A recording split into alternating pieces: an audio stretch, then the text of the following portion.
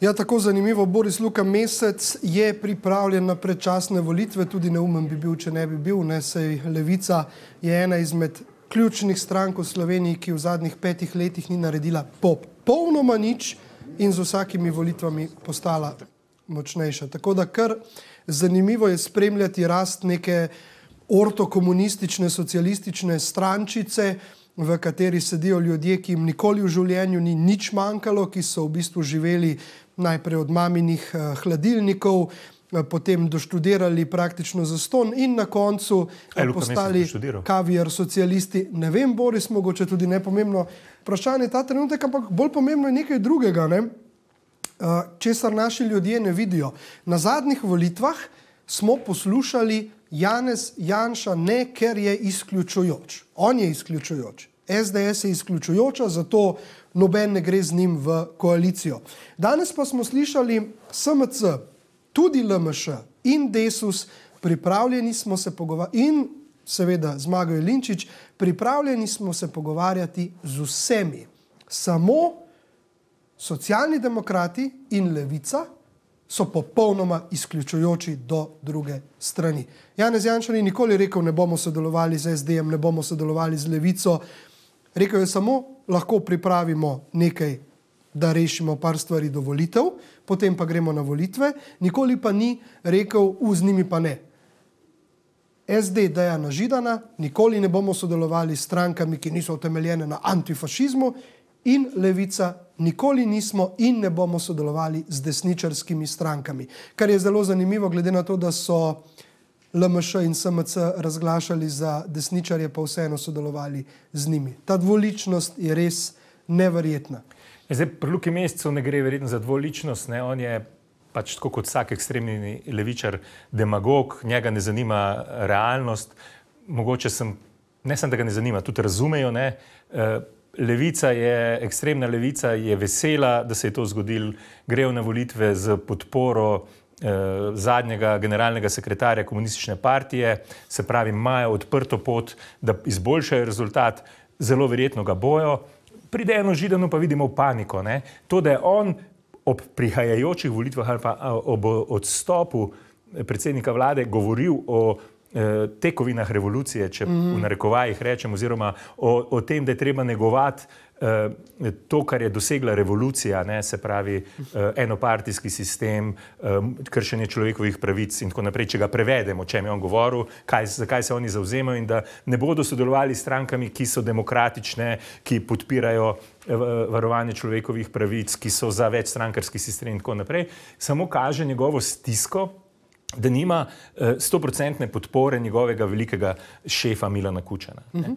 In je zdaj neka panika, ne? ankete jim slabo kažejo, levici, levica seveda bo za svojimi floskulami ne, uh, dobivala glasove. Uh, kolikor pač ljudje ne bodo razmišljali, ampak zmeri boš najdel kar precej veliko uh, število ljudi v Sloveniji, nenormalno veliko število ljudi, ki uh, so zelo zadovoljni, če lahko živijo na tuj račun. Ne, tako da te izjave Luka Meseca in Dejana Židana so pričakovane, je pa pozitiven premik, saj v tej fazi, da pa drugi ne izključujejo več. Ne. Uh mhm. -huh. Ker to izključevanje, izključevanje jih je pripeljalo do tega, kjer so zdaj. Uh mhm. -huh. En SMC, ki je sicer padel iz 36 eh, na, za, za več kot za, na tretjino tistega, kar je, kar je imel na deset poslancev, ne, eh, je seveda v veliki paniki in s tem, ko je šel v, v, v vlado z izključevanjem pod vodstvom Mira Cerarja, ki mu na tem svetu popolnoma nič ni jasno, ne, so padli zdaj na procent pa pol in tako naprej in praktično nimajo nobene možnosti, da bi šli v parlament. Ne. Alenka Bratušek je izključevala, Desus je izključeval in zdaj le se ta nova predsednica Aleksandra Pivec je bolj modra kot Rjavec, očitno, zgleda vsaj na prvo žogo, ne, ne izključuje, ker so se male stranke naučile, da to izključevanje pomaga šarcu, ne njim. Ne. Uh -huh, uh -huh. Tako je zanimivo bo, bo spremljati vso to zadevo naprej. Sedaj čakamo še izjavo predsednika Nove Slovenije, Mateja Tunina. Tudi zanj se je omenjalo, da bi lahko poizkušal eh, biti neke vrste medijator za to umestno obdobje. Eh, tudi novinari so, vidimo, spoh dominantnih medijev spraševali, kdo bo zdaj predsednik vlade, bo Janez Janša, bo Matej Tonin. Ne? Spomnimo se teh vprašanj izpred nekaj minut. Tako zelo zanimivo je spremljati to, da recimo zdaj nekako dominantni mediji zdi se, kot da v tem trenutku prvič v svoji zgodovini ne vedo točno, kaj se dogaja. Ne, se pravi, mi imamo, vemo, da levica je neke vrste favorit globoke države, ampak tudi globoka država se zaveda, da levica ni dovolj. Se pravi, levica sama po sebi ne more postaviti vlade, 50 odstotkov ljudi ne bo glasovalo za levico, tako daleč nismo, smo v Evropski uniji, v NATO, smo le v neki uh, vrsti kapitalizma, imamo preveč odve, uh, se pravi SP-jev in, in podjetnikov, da bi lahko levica prišla tako daleč. Ampak vendarle, vedno je bil odgovor na dlani za dominantne medije. Danes ga ni. Ja, zdaj bom, imam občutek, da so tokrat, da je šarec presenetil strice. Glih iz odziva satelitov, uh -huh, ja, ja. ker niso imeli jasnih navodil. Tako se mi zdi, da, da jih je dobil z spuščenimi hlačami. Da je naredil nekaj, kar, uh, kar ni bilo usklajeno in ni bilo načrtovano. Uh -huh. To se mi zdi, lahko da se motim, zdi se precej neverjetno v tej eh, konstelaciji, da, da, da stare sile še zmeri obvladujejo, ampak na prvo žogo, po odzivih sodeč, se mi zdi, da, da, da je presenetil, da to ni bilo usklajeno, da to dejansko ni bilo načrtovano in zdaj eh, mislim, da eh, že razmišljajo, kako rešiti situacijo. Uh -huh. eh, ankete nedvomno preveč kažejo šarcu, ne bo bitka, če ostane vse tako, kot je, bo SDS eh, prepričljiva zmagovalka volitev. Namreč vse obdobje eh, od volitev je v vrhu, nekaj mesecev je bila eh, za LMŠ in dejansko v resnici to, kar so kazale medijane in razne nina medije, je, je bolj pumpanje Marjana Šarca, mogoče da ga opogumijo, da gre na volitve. Nekje, nekje, so, nekje so o tem že resno razmišljali, že avgusta, mhm. septembra, uh -huh. uh, pa se to ni zgodilo. Tako da uh, je vprašanje, kaj bo rezultat. Ne? Najbolj grozen rezultat bi bil, da bi desni pol, ne? in tu ni samo Matej Tonin z Novo Slovenijo, če se bodo pametno odzvali, če ne bodo rinili preveč proti sredini, lahko dobijo, če se bodo vrnili k krščanski stranki, dobijo in ljudska stranka, ki se pobira, ki ima šanse, da se vrne, da dobijo eno stabilno večino. Mislim, da je bilo to zelo dobro za Slovenijo, seveda pa katastrofa za strice, kar je pa samo dobro. Sedaj v prihodnjih dneh bomo hitro videli, kam bodo šli mediji. Jaz na Dobivam občutek, da iz vprašanj novinarjev nekako bodo zdaj mainstream mediji poskušali navijati za neko tehnično vlado, za neko rešitev, zato da pridobijo čas, uh, pred volitvami, da gredo na volitve, da se pripravijo na volitve. Uh, zna biti, da bo išli v to, ampak realno, realno se prečasne volitve ne moremo izogniti.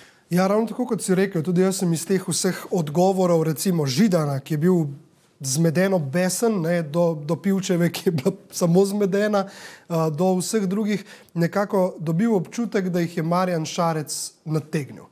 Se pravi, da se je zavestno odločil, zdaj bom pa jaz vam pokazal, ne, uh, ker po besedah tistih, ki ga dobro poznajo, človek impulziven, kolerik in morda so strici tokrat nastavili nekoga, ki ni popolnoma obvladljiv. Ne? In se pravi, zdaj gremo s to neko popotnico, uh, bom rekel, zbezljanega sina ne? in pa velike, velike možnosti, da se bo desni pol okrepil na naslednje volitve. To najbrž predstavlja kar veliko paniko. Ampak če pogledamo realno, SD, levica, Nova Slovenija tudi lahko, LMŠ, oziroma LMŠ ne, se pravi SAB, Desus. Ne. Ni dovolj. Ne. Ne. Brez, brez dvoma, se pravi, brez uh, uh, LMŠ in SDS praktično ni mogoče uh, uh, sestaviti vlade, oziroma eh, ta vlada bi bila še večja katastrofa. Kot, uh, s tem, da Levica ne bi šla z Novo ja. Slovenijo, ne, kot so že napovedali. Ja. Levica, levica, levica bo šla na volitve, ne bo podprla nobenega mandatarja. Uh, mislim, da oni predvsej utemeljeno, o tem smo govorili, uh, računajo na boljši rezultat. Uh, tako da bo, bo zanimivo, kaj, kaj se bo dogajalo v prihodnjih dneh, kje bo kaj bodo povedali strici, kje so njihove rešitve, ne? ker eh, lahko se zgodi katastrofa. Je pa seveda daleč od tega ne? in ni za podcenjevati eh, teh, ki skrbijo, kaj se dogaja v zadnji, da bi prepustili zmago Janezu Janši kar tako. Uh -huh. tukaj, eh, tukaj je zdaj za pričakovati nek protiudarec, rabijo mal potem eh, nekako prid k sebi, naštudirati stvari, pogovoriti se z nekaterimi. Ne? Ampak jaz mislim, da je Marjan Šarec lahko da se motim, ampak da je nekako zračunal, da uh, mu ta poteza prinaša več, uh, ker sicer bi se mu zgodil Miro Cerar. Ne? Ja, Miro Cerar pa vemo, kje je. Ampak zanimivo je, da ta. ta Pot, ta tok se je začel že na prejšnjih volitvah. Ne? Spomnimo se uh, tistih soočen, kjer je, mislim, da je Janez Janša takrat rekel, da je nožidano, ja pa kaj se zdaj tukaj sprenevedate, se ste bil premeni. Ne? Se smo bila skupaj, se smo imeli sestanek ne? in to na naši stranki, ne na vaši. Ne? Prišel ste in ste mi celo rekel, da ste se do določene mere znebili stricev, vpliva stricev iz ozadja. Se pravi, če je Dejan Židan prišel k Janši na pogovore in mu priznal, da počasi so se pa odkrižali vpliva stricev iz ozadja, če je prišel uh, Marjan Šarec iz LMŠ-ja, ki sovraži Janeza Janšo pač medijsko, do njega, ga prosil za podporo v predsedniški kampanji. Se pravi, se dogaja. Sedaj imamo pa v državnem zboru Mateja Tonina, predsednika Nove Slovenije. Poglejmo. Koaliciji, ki ste jo vi že nekajkrat omenjali. Vse razumete, da v politiki morajo pogovori vse čas teči tudi zaradi tega, ker je parlament tako razdeljen, kot je za vsakašno stvar, da jo v parlamentu speljamo, vse čas potrebujemo pogovore in to smo v preteklosti tudi delali, ljudje so imeli glede tega različna mnenja.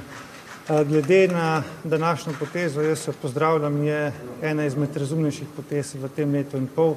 Po letu in pol upravljanja tekočih poslov, po letu in pol izgubljenega časa za Slovenijo je to vsekakor najboljša rešitev, da gremo na predčasne volitve in da se potem po volitvah na novo oblikuje koalicija. To je v teh potezah, v teh okoliščinah vsekakor najbolj smiselno.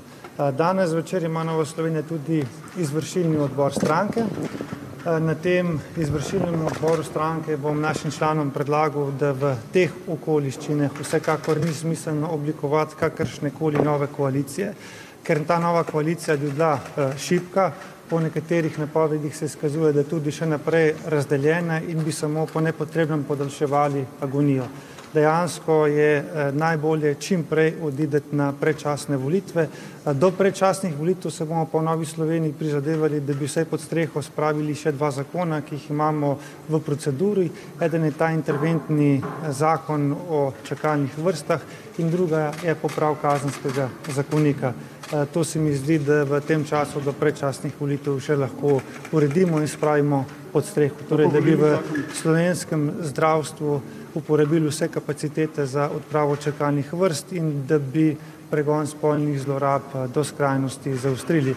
Kar se pa tiče samega volilnega zakona, veste, da je eh, navada praksa takšna, da se v procesu same volilne kampanje ali pa samih volitev volilne zakonodaje ne spreminja in jaz mislim, da je zgodba spremembo volilnega sistema za ta mandat končana. Si lahko morda premislite glede oblikovanja druge vlade, če pa vemo, gospod Počevalšek je že nakazal, da si ne želi volitev, tudi gospa Bratuškova ni bila um, ravno, um, bom rekla, jasna okrog tega.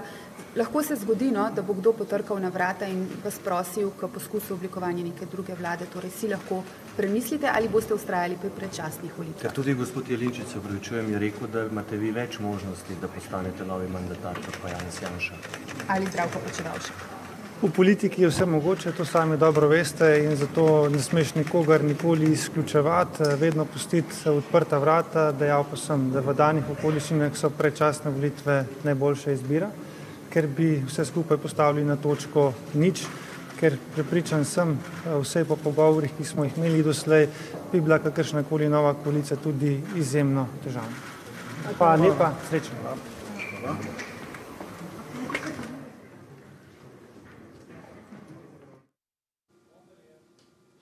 Tako tudi Matej Tonin, Nova Slovenija, bo danes na izvršilnem odboru stranke predlagal, da gre stranka na predčasne volitve in da ne sklepa nikakršnih koalicij. Se pravi, smo na dobri poti k predčasnim volitvam. SDS, LMŠ, SMC oziroma SDS, LMŠ, SD, Levica in Nova Slovenija, torej praktično nobenih možnosti za kakršno koli tehnično vlado.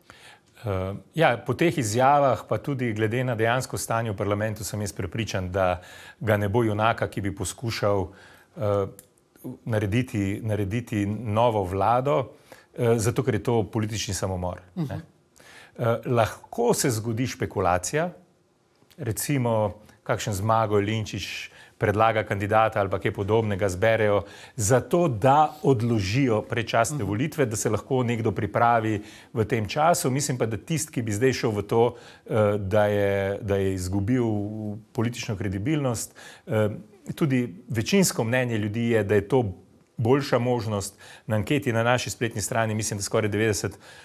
Več kot 80 odstotkov ljudi podpira predčasne uh -huh. uh, volitve, ne zgolj ne, uh, uh, delanje neke nove vlade, ker realno ne, stabilne vlade se ne da narediti.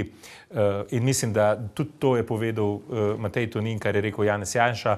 Poskušati treba to ta, ta čas, ko stranke poskušajo biti všečne, izkoristiti za, nekaj, za sprejetje nekaj dobrih, kvalitetnih zakonov, ki bodo ljudem, ljudem pomagali uh, in izboljšati življenje, predvsem uh, starejšim, uh, korupcijo v zdravstvu, čakalne vrste in tako naprej. To je zdaj priložnost.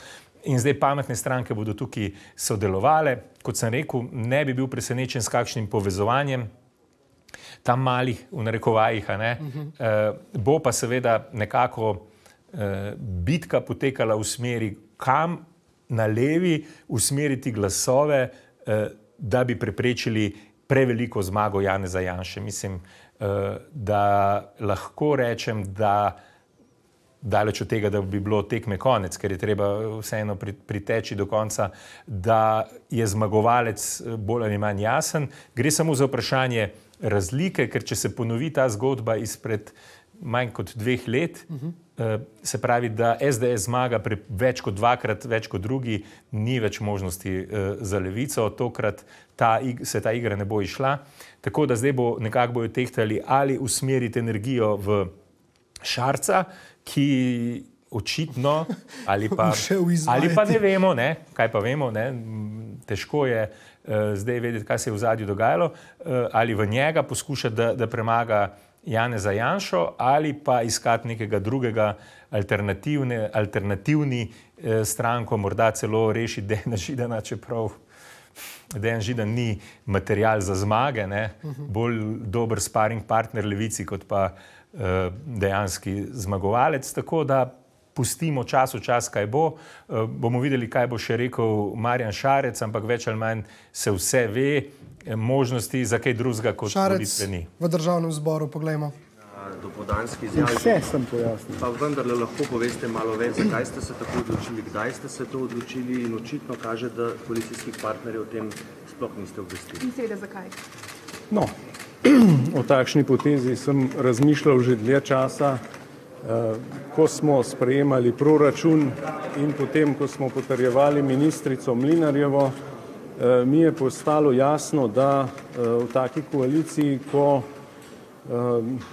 dobiš tudi na mesto zahvale za vse trud, da si podprl ministrico, da si se trudil za njo, dobiš predlog za odstop, ukolikor ne bo potrjena in kot da si jo sam predlagal, pa vemo, da je bila to kvota druge stranke, eh, pa sem se vseeno potrudil, da smo potrdili ministrico, vendar nas zdaj čakajo eh, veliki projekti, to državo čakajo eh, resni razmisleki, podnebne spremembe, energetika, potem zakon o dolgotrajni oskrbi, nepremičninski zakon, sprememba fiskalnega pravila, volivna zakonodaja, kjer smo pač bili prekratki, zato ker smo predolgo eh, pacali vse skupaj, če uporabim ta izraz, in sem ocenil, da pač v tej konstelaciji tega ne moremo izvesti enostavno ker mi je dalo misliti tudi to, da je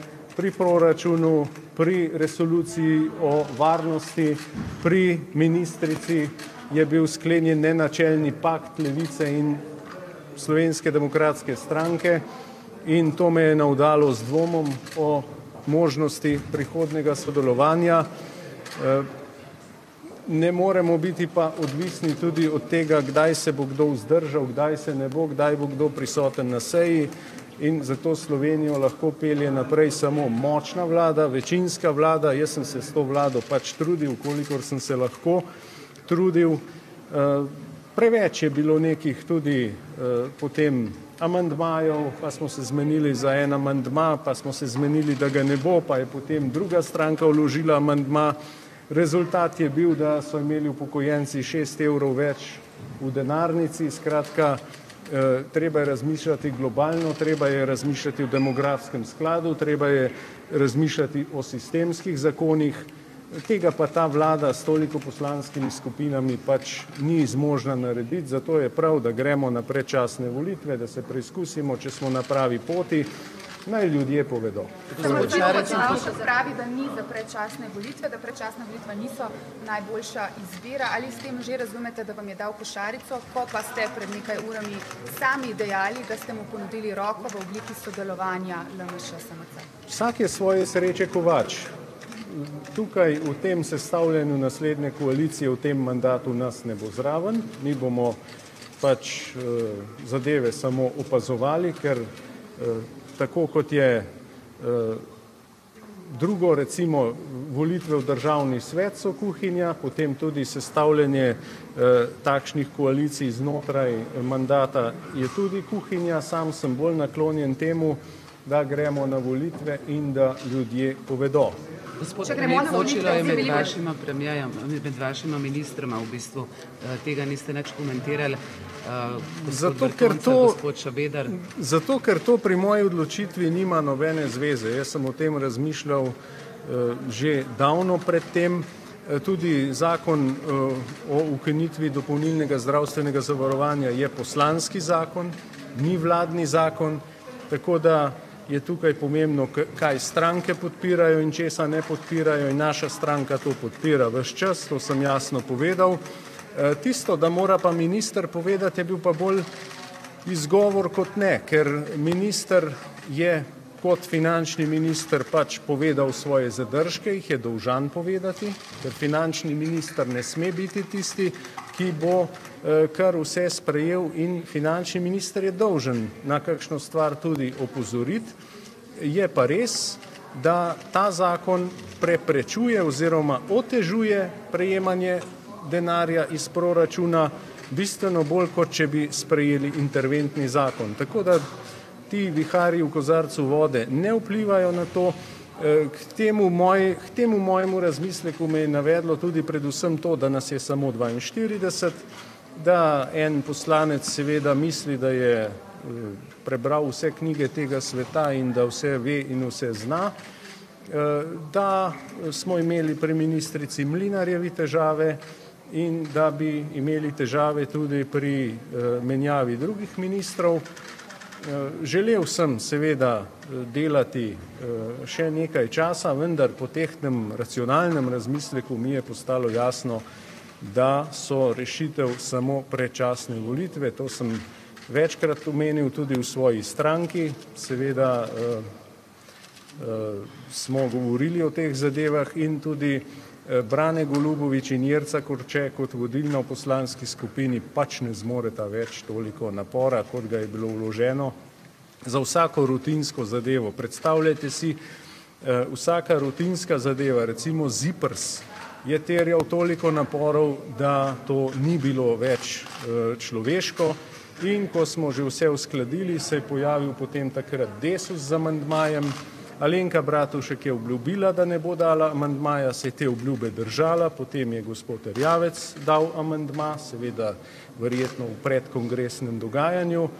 E, tako da tako se enostavno pač ne da delati in mislim, da je prav, da gremo na prečasne. Glede na težko sodelovanje s to koalicijo, če pride do predčasnih volitev, ste po volitvah pripravljeni potem oblikovati vlado z stranko, s katero zdaj niste sodelovali, torej z Janševo SDS? To so pa zelo zgodnja vprašanja. E, mislim, da je zato pa še absolutno prezgodaj in take špekulacije mislim, da tudi niso na mestu. Ampak odstop finančnega ministra, gospod Šarec, je zagotovo bila neka, neka pika na i v vaši današnji odločitvi. Ne more biti kaplja čez rob, če sem že v petek vedel, da bom odstopil. Da, da boste danes odstopili. V petek sem že vedel, da bom danes odstopil. Pa ste ja. v petek že vedeli, da bo finančni minister odstopil? Finančni minister sva se večkrat pogovarjala o teh zadevah in ker sva izpeljala skupaj nekaj dobrih projektov, se pravi regres, izdaja obveznic in tako naprej, eh, sva se pogovarjala, da pač tako verjetno ne bo šlo več. In eh, ko je videl mojo izjavo, da jo bom dal ob desetih, je verjetno vedel, zakaj gre. Gospod Šarec, je bil problem te vlade, te koalicije tudi v tem, da je nastala nekako na politiki anti-Janša? To ni bil problem v osnovi. Jaz še vedno mislim, da politika SDS za Slovenijo ni dobra, glede na to, da se stranka financira z mađarskim denarjem, glede na to, da se uporablja tudi sovražni govor, glede na to, da mediji, ki jih ima v lasti SDS, tako imenovani mediji, ki so samo predali ene in iste umare, eh, pač eh, zalezujejo mene doma, koliko imam visoko ugrajo, pa še kaj drugega.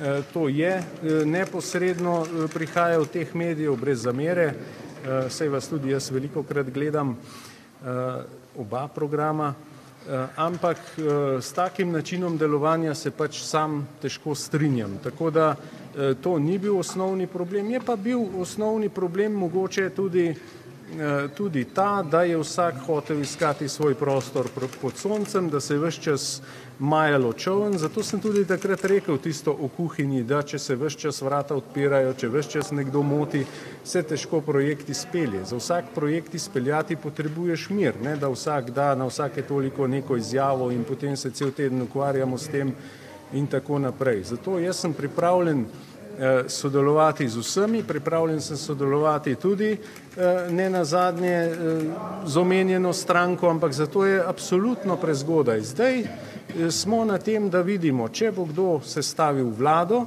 že znotraj tega mandata, to je realna opcija, zagotovo, če je ne bo, potem bodo sledile prečasne volitve, tam se bomo vsi izmerili in na ta način potem Eh, se lahko pogovarjali o kakršnem koli sodelovanju. Zdaj, koalicijski partneri so nekako že rekli, da gre za, raz, recimo, Dejan Židan je rekel, da gre za razpad ekipe LMŠ, da ste zaradi tega odstopili, tudi Alenka Bratošek je predvsej negotovala, negotovala, ampak niste vi že v začetku, ko ste vedeli, da boste imeli manjšinsko vlado, si predstavljali, da bo tako težko? Sveda sem si predstavljal, da bo težko, ampak eh, vseeno veste, da so za Lenko Bratošek imela problem že na začetku mandata. Že takrat smo imeli težave eh, pri eh, usklajevanju pokojnin in tako naprej in tako je bilo vse čas. Vse čas je bilo težko, vse čas je bilo naporno in to tudi sprejemam. Ne gre za noben razpad ekipe LMŠ, zagotovo ne, ker vemo, da sem jaz v preteklosti znal že marsikomu pokazati vrata, zlasti v svoji stranki, če sem ugotovil, da zadeve niso bile takšne, kot bi morale biti. Eh, in svetujem, spet tako kot vedno, samo svetujem, eh, da naj se vsaka stranka ukvarja sama s sabo, zlasti sedaj, če bodo volitve. Če ste vedeli v petek, zakaj niste koalicijskim partnerjem vsaj namignili že prej, nihče menda ni vedel do uh, vsaj objave vaše izjave v desetih dopoledne? Zato, ker sem resen politik in nikomor ne razlagam, ker potem bi že celo soboto bral, odgovarjal na špekulacije in tako naprej. In sem želel s tem tudi pokazati, da se v resni politiki pač sprejme neka odločitev eh, in jo obelodaniš takrat, ko si jo dokončno sprejel, za razliko od umika iz Erbila. Nikakor pa ne obstaja recimo možnost, da bi nekdo vas zdaj v tej konstelaciji poklical na pogovore, pa bi vi sodelovali mora biti tej novi eh, koaliciji, seveda ne kot predsednik vlade, pa kot del koalicije. A, to bi bilo pa smešno, to bi bilo pa uklepanje nekega položaja za vsako ceno, eh, za vsako ceno biti zraven pri koritu, kot se reče, mislim, da to pa nima nobenega smisla. Če sem resen politik, sem vodil vlado, sem ugotovil, da s to vlado ne morem zadovoljiti ljudi, ne morem upravičiti visokih pričakovanj in zdaj so na potezi drugi. Zato sem tudi rekel, da so zame prečasne volitve edina opcija. Ampak je karkoli žal v letu in pol. Lahko je vseeno vprašanje. Hvala. No, dve.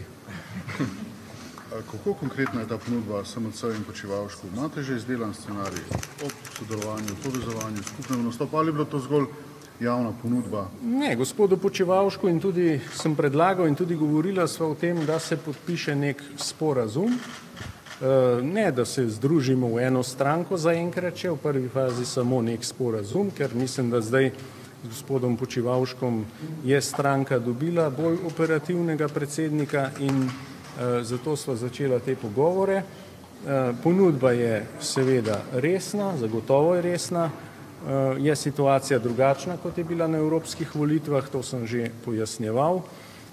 In če se bo gospod Počevalšek odločil za to pot, potem bom vesel, če ne pač ne, ponudba je ponudba. Verjetno je to bolj vprašanje za poslance, ne, SMC-ja.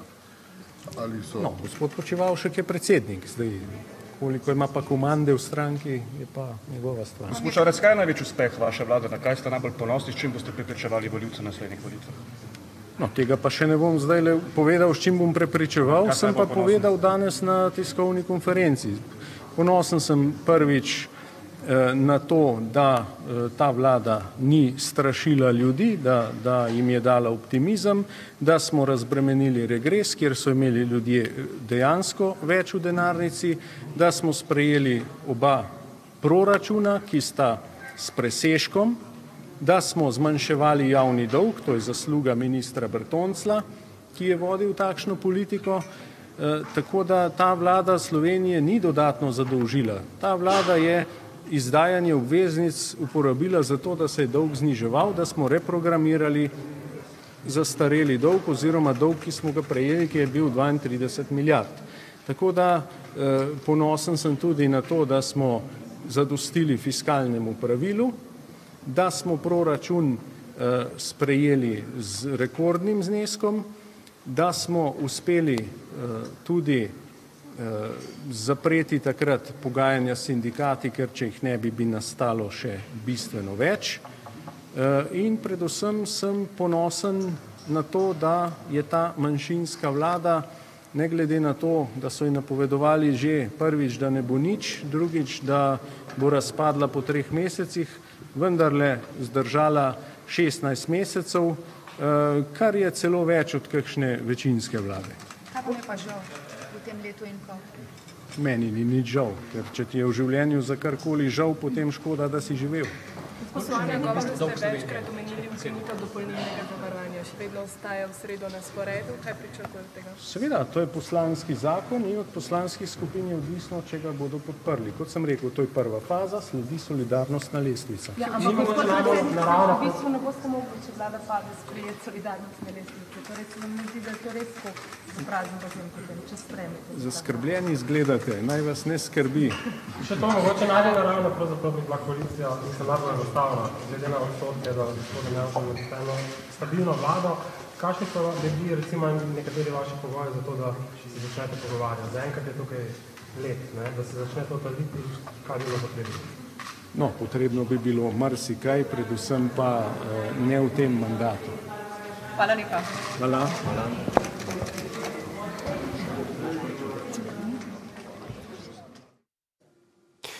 Tako, spoštovane gledalke in gledalci, kot ste lahko slišali, Marjan Šarec ni žalosten, ker je danes odstopil. Marjanu Šarcu ni žal za nič, česar ni storil v tem mandatu. In Marjan Šarec, najbolj pomembno, kljub temu, da je na zadnjih volitvah zmagal s floskulo z Janezom Janšo, ne gremo v koalicijo, je danes dejal pozor, pripravljen sem sodelovati s slovensko demokratsko stranko. Se pravi, očitno je Šarec v svoji leto in pol dolgi karieri dojel, da so ga nekateri iz ozadja prav dobro, če se izražim nekoliko po domače, držali za jajca. Tega si Šarec več kot očitno ne želi več in je ugotovil, da mogoče resno politiko in resno državništvo lahko doseže tudi v sodelovanju s slovensko demokratsko stranko. Vkolikor Šarec bo kandidiral na naslednjih volitvah in bo vodil še naprej svojo stranko, je jasno, da bo šel tudi v spopad z levico, ki ga je pustila na cedilu. Že takoj na začetku je omenil, da mu je levica s tem, ko je sodelovala s slovensko demokratsko stranko, spodkopala nekaj pomembnih odločitev. Sedaj se je treba vprašati, zakaj Marjan Šarec napada levico, morda zato, ker ve, da je levica favorit. Stricev iz ozadja za naslednje volitve.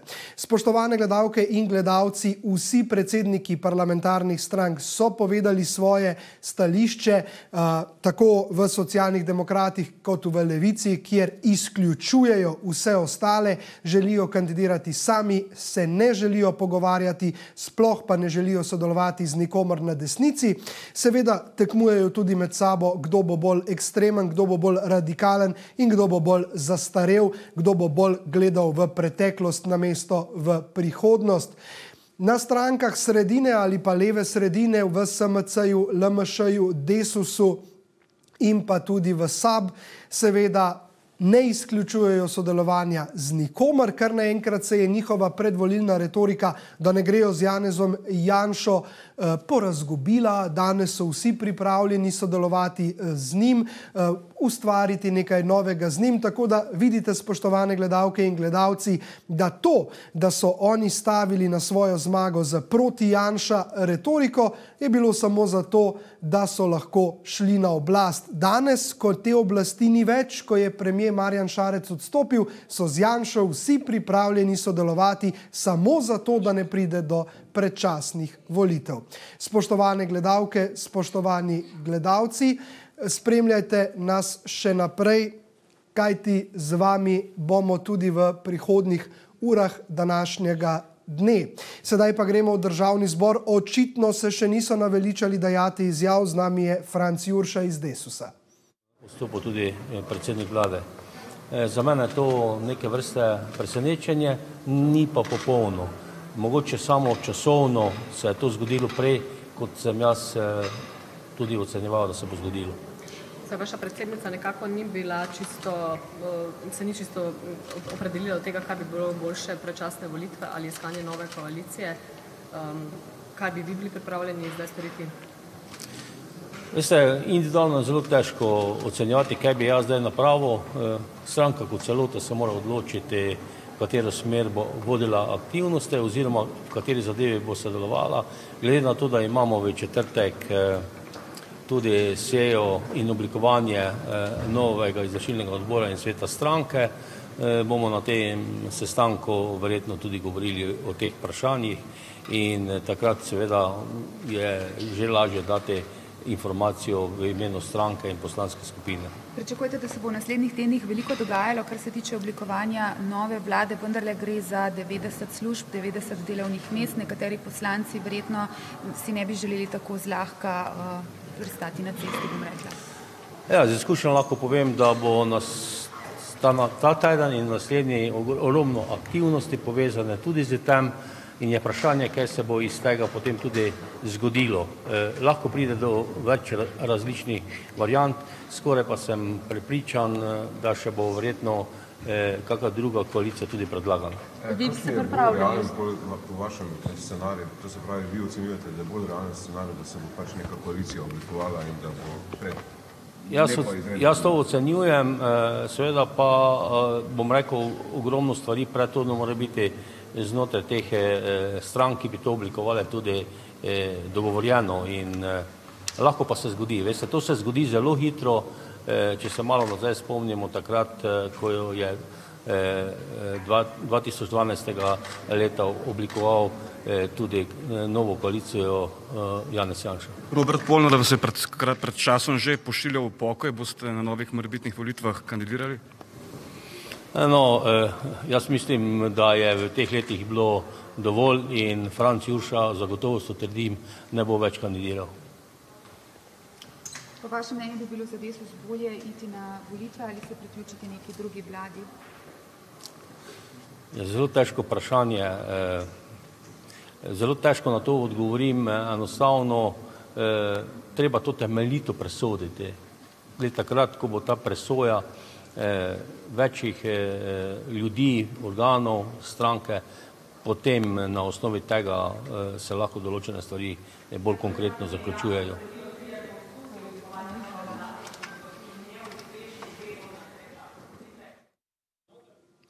Spoštovane gledalke in gledalci, ostanite z nami na Novi 24 TV še naprej. Spremljali bomo situacijo v državnem zboru, se javljali iz državnega zbora, seveda pa bomo tudi v studiu gostili politične komentatorje, ki bodo lahko kaj povedali o morebitnem sestavljanju novih koalicij ali pa celo potencijalnih novih prečasnih volitvah. Zaenkrat pa se od vas poslavljamo. Ostanite z nami še naprej, kot sem dejal, čez dan sledi še mnogo mnogo aktivnosti, od javljanja iz državnega zbora do komentiranja trenutne politične situacije v državnem zboru. Tako da ostanite z nami na Novi 24 TV, ne bo vam žal.